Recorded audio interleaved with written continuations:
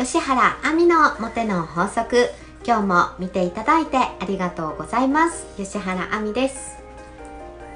はい今日はですね、えー、私の普段開催させていただいている婚活マインド講座の受講生さんたちがよくしてくる質問が一つあります。でそれをちょっと掘り下げてお伝えしていこうかなと思うんですけれどもこの質問がね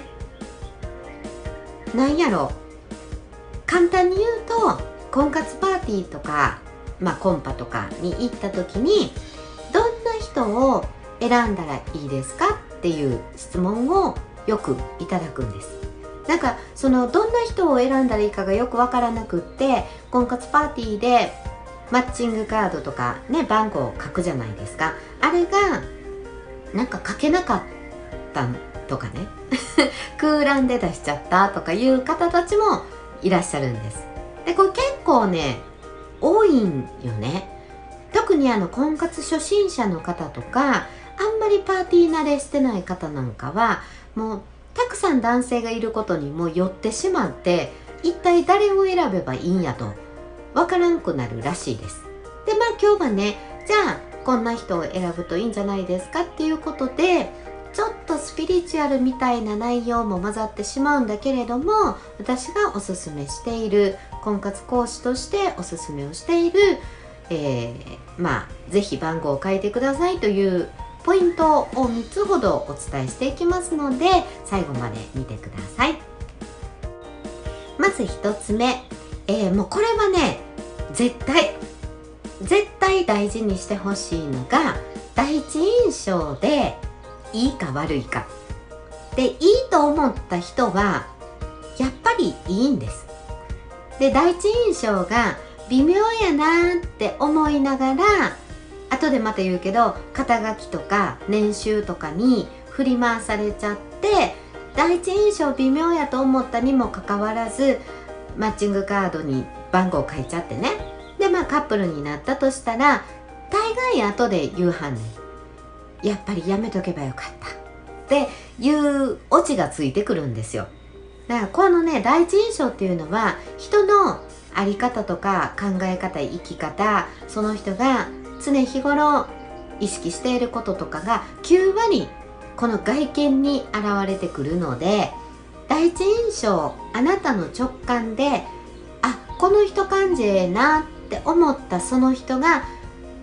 番号を書く対象者と思っていただいて間違いないと思います。でまあたまにもちろんね第一印象良かったのにお話ししてみたら微妙やったわっていう人もいるかもしれんけどそれでもその日は微妙でも2回目3回目4回目って会っていくとやっぱり第一印象通りやったわってそういう人やったわって思うことになる方が多いんです。あなたの直感で感じた第一印象いいなと思った人を選んでください。まあほぼ間違いないと思います。そして2つ目がえっとね話してて違和感がない人。このね違和感っていうのはちょっとね語弊があるかもしれへんねんけどイメージでいくとなんかスムーズに喋れて自分の素が出せてかっこつけたり可愛こぶったりする必要もほとんどなくいつもの昔からの知り合いのように喋れたとかなんか異性の男友達のように喋れたとかそういう昔から知ってたかのようななんか違和感がない喋りやすい方っていう感じ。なんで喋っててすごいドキドキしたとか緊張したとか何やろ異性を感じすぎて何喋ったらいいかわからんくなったとか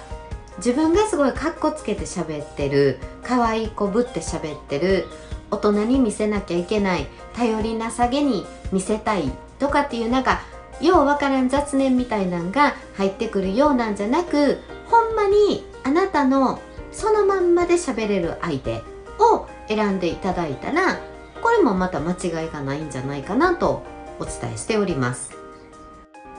そして3つ目があれ？昔会ったことあります？って思う人。たまにいません？あのほんま本当は初対面なはずなんだけどこの人どっかで会ったことあるなっていうなんか感情が出る人。こういう人ってよくあのスピリチュアルの方とかで行くと、まあ、確かに昔過去生で会ったことがある人。でしかもご縁がすごい強、まあ、太い強かったりとかっていう人とかはなんとなく潜在意識の中でその方の記憶が残ってたりとかしてあれ？会ったことある？って思うらしいです。でこれは確かにね私も過去の生徒さんたちで、まあ、成婚された方そして、えー、パートナーを見つけられた方たちに聞くともう大概1番の第一印象2番の話してて違和感がない人3番のあれ？会ったことある？っていう人やったっていう人がほんまに多いんですよ。なんでこのあれ？昔会ったことあるかも。初めましてですか？みたいな感覚の人も選ぶ対象者として考えていただいていいんじゃないかなと思ってます。このね3つのポイントはまあ、さっきも言ったけど私の過去の受講生たちの中で成婚した方そして、えー、彼氏彼女が見つかった方で、まあ、今現在もお付き合いが続いているでかつほぼ喧嘩しないというお二人たちにアンケートを取ってるんですよ。まあ、都度ねあの彼氏できました。第一印象どうやった？んとか話しててどうやった？とかっていうアンケートを取り続けてきた結果この1番2番3番の第一印象話してて違和感がない。そして3つ目の「あれ？どっかであった?」っていうその3つの中のどれかに引っかかってはるんです。この3つはね実体験もやっぱり多いので、まあ、一つの参考として婚活パーティーでどの人選ぼうどうしようって思った時にはそうや。1番2番3番って考えてあの人第一印象が良かったなこの人話してて感じ良かったないい感じやったなとかっていうのから選んでいただいたらいいんちゃうかなと思います。であのー、まあマッチングカードにね番号を書くってなった時によくミスをしやすいパターン例というのが第一印象はあかんかってでも年収がめちゃめちゃいいとか肩書きがいいとかなんかなんとか取締役代表とかね。でそんなん書いてあるとかもしくは婚活会社の方とか周りにいた人が「あの人いいやんおすすめやで」って言うはったから書いたらマッチングしたというパターンのこれね大体ミスります。かに私もパーティーでお手伝いしてる時にあのこの方すごくいい人だよ。この女の子すごい優しくていい子だよ。っていう紹介の仕方はしますけどこの人にしときみたいなあの確定させることは言わないのね。やっぱり人からの意見でこの人がええんかもしれへんとか第一印象微妙やったけど年収ええしなとかっていうそういうなんかドロッとした雑念みたいなのを持ったまんまマッチングカードに変えちゃうと